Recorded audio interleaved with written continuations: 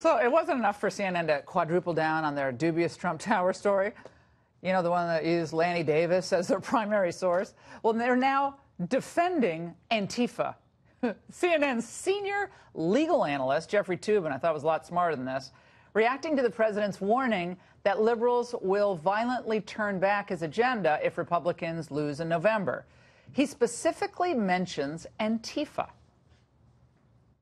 Let's be clear also about what's going on here. The theme here is I'm Donald, Donald Trump and I'll protect you from the scary black people.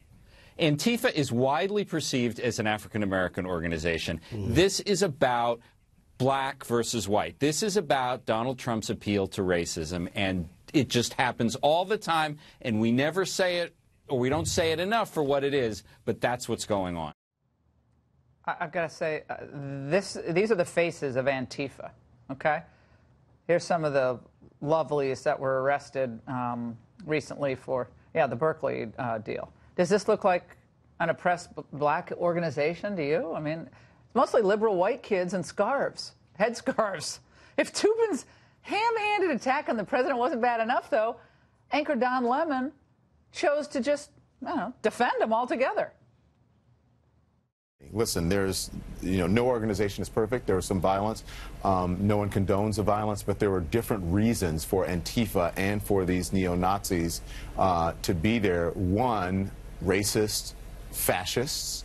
The other group fighting racist fascists. There is a fascist. There's a distinction there. Did he say no organization is perfect? Oh my. I, there are moments where you just can't believe this is happening in our country. But joining me now with their reactions to what's going on over at CNN, Jeffrey Lord, former Reagan official who once worked as a CNN contributor, and Chip Franklin, national talk show host and a media commentator. Uh, uh Jeffrey Lord, let's talk with you. You worked at CNN. Uh, I've got to say, I played that Toobin bite on the radio this morning. I had to have my guys play it again. I said, I don't. I've never in my in my life thought of Antifa as a, uh, a black organization. Uh, it, it's, it's mostly the anti-WTO crowd, right? The Occupy Wall Street crowd, overwhelmingly white, probably most of them privileged liberals. Correct, correct. Yeah, I know most of these people over there, and I like them enormously. I heard that this morning, and I almost fell out of my chair sitting in the living room. I mean, what are they smoking?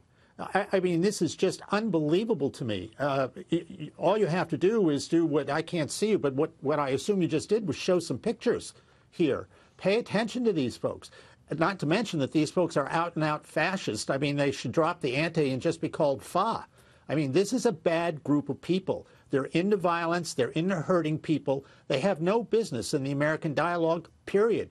And for CNN to be lending them support is mind boggling. Chip, the president today, uh, you know, expanded on the comments about violence, and he said this. I just hope there won't be violence. I can tell you that. Uh, I can tell you that because that's the way. I guess if you look at what happens, there's a lot of there's a lot of unnecessary violence all over the world, but also in this country, and I don't want to see it. No, he doesn't want to see violence, but when you see those pictures, uh, the video from Berkeley, of Trump supporters getting bashed in the head, smashing windows every time a conservative speaks on uh, college campus, or if they're upset about some taking over ICE. It's all this. It's this craziness. How is this a racial issue on the part of CNN?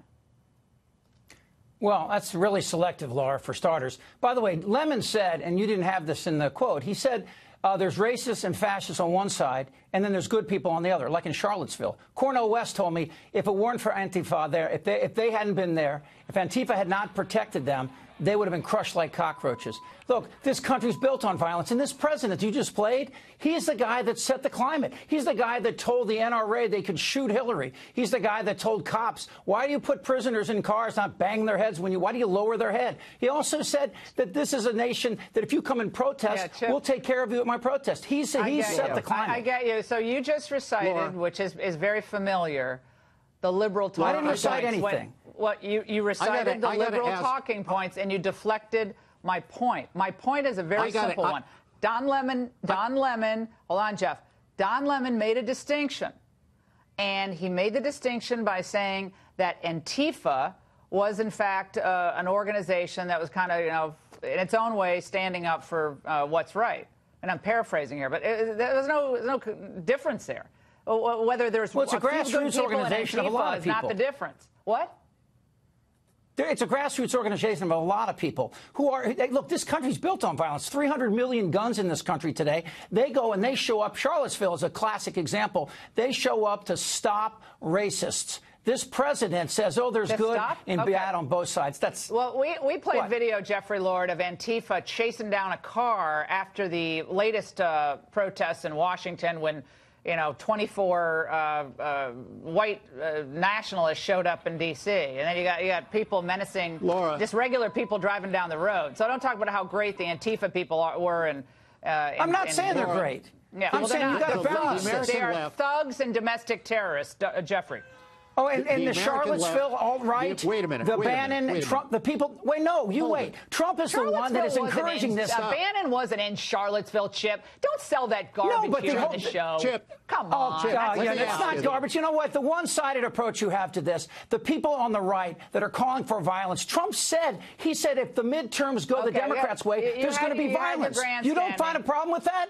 You have that doesn't bother you? you? You go back to Charlottesville. We have Antifa all across the country. Charlottesville's con- been condemned, including They don't by the have a central Yes, organization. Laura. These are people yeah, standing they're- up against right. the kind of violence They're- that they're you're standing propagating. for chaos and anarchy, Jeffrey.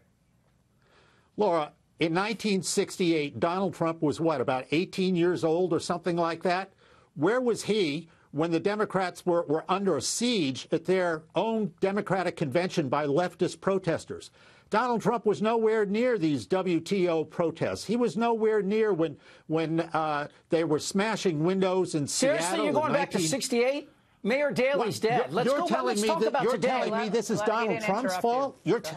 you're telling me this is Donald Trump's fault. This is in the left. Violence is, is in the DNA of the American left and always has been. You're high. This is just No, the latest look, the- incarnation. This president comes out every day and calls for violence against people What? who disagree Oh, with his baloney. administration. Well, he comes out every day. He just said we got to tamp down on the violence. It's not good in this country, and we can't stand for it. He just, we just literally played That's the soundbite. He said- and you come out and you say you're like you should work for CNN. I mean, I- God bless you. Talking points. What do you? We just played the soundbite where Trump said no violence, and you say the president comes out. That's Again, this, you're, This is this is a guy that lies. He's lied 3,000 times in a year and a half, and you're going to take one soundbite and say that is exemplifies this president? Come on. You know, that- you so- got to be honest yeah, with yourselves. Jeff, I think I think again, if if the Democrats want to appeal to people in the middle who they need, and Republicans have their own set of challenges, you got to be very careful who's running the show on the protest front.